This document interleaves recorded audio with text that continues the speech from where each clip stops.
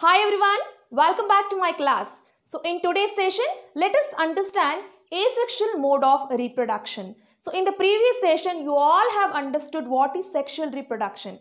Correct? Sexual reproduction involves two parents, right? And there should be well developed reproductive organs. All these things you all have understood under sexual mode of reproduction. So in this session, now let us start with the asexual mode of reproduction.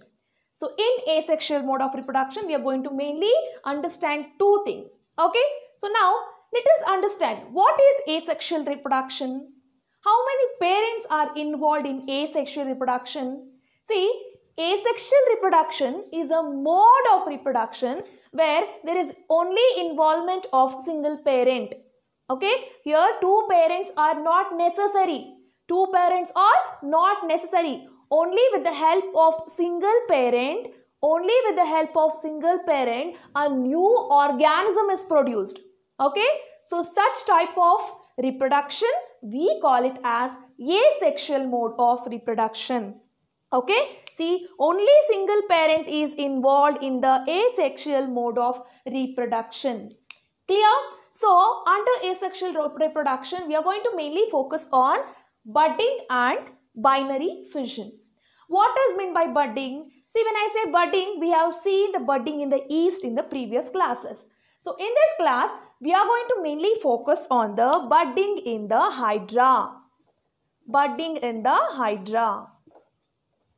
Okay, hydra is a microorganism. It is a microscopic organism. How does it look? It looks similar to like this. See? I just roughly draw here.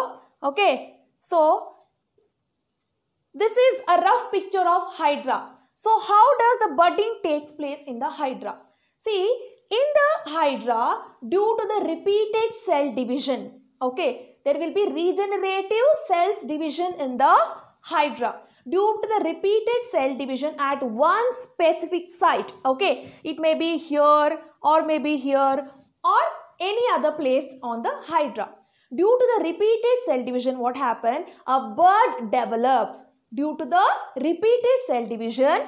For example, if in this site what happened, repeated cell division takes place, in this place what happened, there will be a small outgrowth of a new bud. There will be a small outgrowth of a new bud. A bud develops due to the repeated cell division.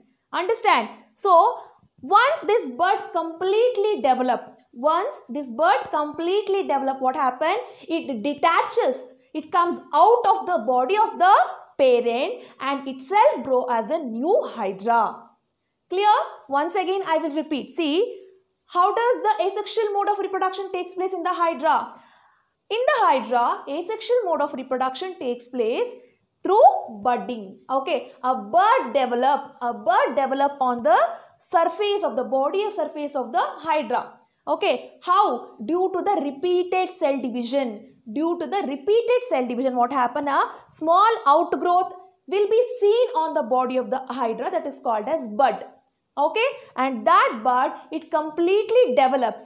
Once it completely develops, what happened? It get detaches that comes out of the body of the parent and it grow itself as a new organism. Clear? So this is all about the budding. So next, let us understand the second type of asexual reproduction which you have in 8th standard. That is binary fission. When I say binary fission, you all are aware about amoeba. You all know how to write the structure of amoeba as well, right? So then, how does the asexual mode of reproduction takes place in the amoeba?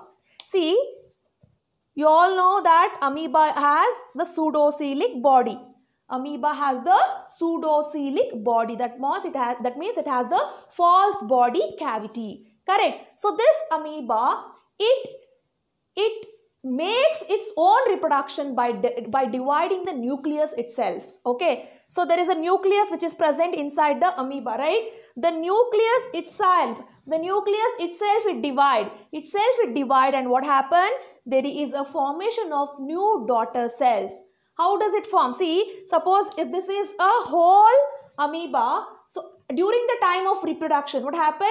During the time of reproduction, this nucleus will divide into nuclei. Nuclei means two nucleus, more than one. Okay. See, as it undergo reproduction, what happened? The single nuclei, it will extend. Okay. The single nuclei itself, it start to divide. As it start to divide, what happened?